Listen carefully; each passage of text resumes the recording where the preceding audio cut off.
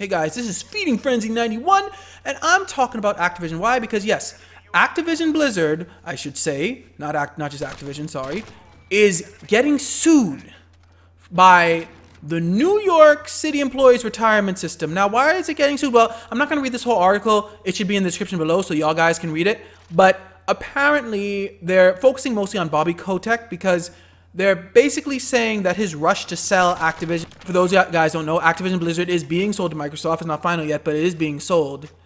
And they're just trying to say that he wasn't fit to sell the company or to at, at least to no negotiate the sale of the company, given his personal responsibility and liability for Activision's broken workplace.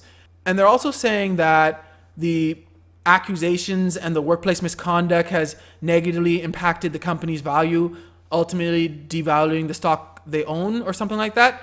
So I'm not really sure if they have a case in that sense. Can you sue a CEO because the stock has been devalued? Like even if the CEO didn't purposely devalue the stock, if it was even if it was his actions like outside, like if a CEO does something bad and that causes people to not like the company so the stock goes down, can you sue him for that? Or her? I just don't know. But I'm not sure if they're really going for the whole money here because it seems like they're trying to get Activision to open their books and to like actually to bring everything or at least some of the stuff to the forefront. So I'm not sure if they're actually trying to get the money because sometimes you can probably do this in a way to get like reveal what the company's really been doing maybe. I don't know exactly, but maybe.